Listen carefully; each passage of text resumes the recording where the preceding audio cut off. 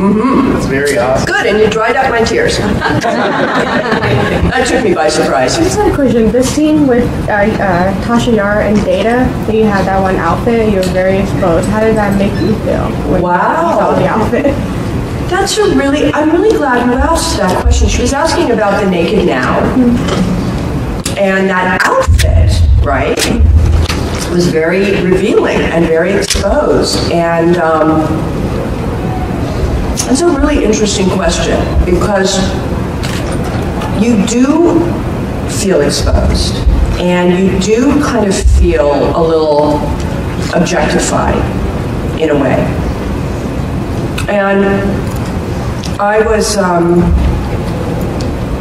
you know, it, it, it was very much part of the story, and I got, you know, the intention of the, and, and it, in hindsight, I mean, it works beautifully. It's so wonderful, that scene, and, you know, just Brent's face is just hysterical, you know. I had to keep, I said, don't even look at me when we do the scene, because I, I couldn't keep a straight face. I mean, he looked like, he reminded me of Pinocchio.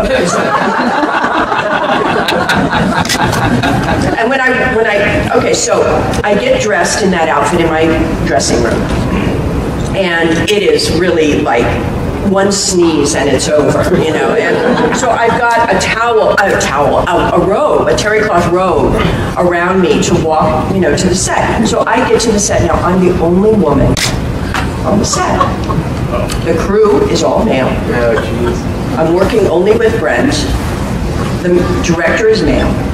And I know that I've got to take this thing, this robe off, and stand there, and I've got to own it, you know? I can't, there's definitely Tasha Yar's not apologizing, you know, for the way she looks. But me as Denise, I'm feeling, you know, pretty vulnerable.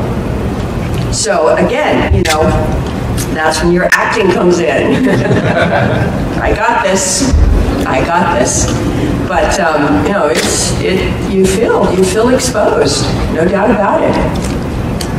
But you look good in the outfit. Well, thank you, thank you. My God, that was uh, you know, I was before children.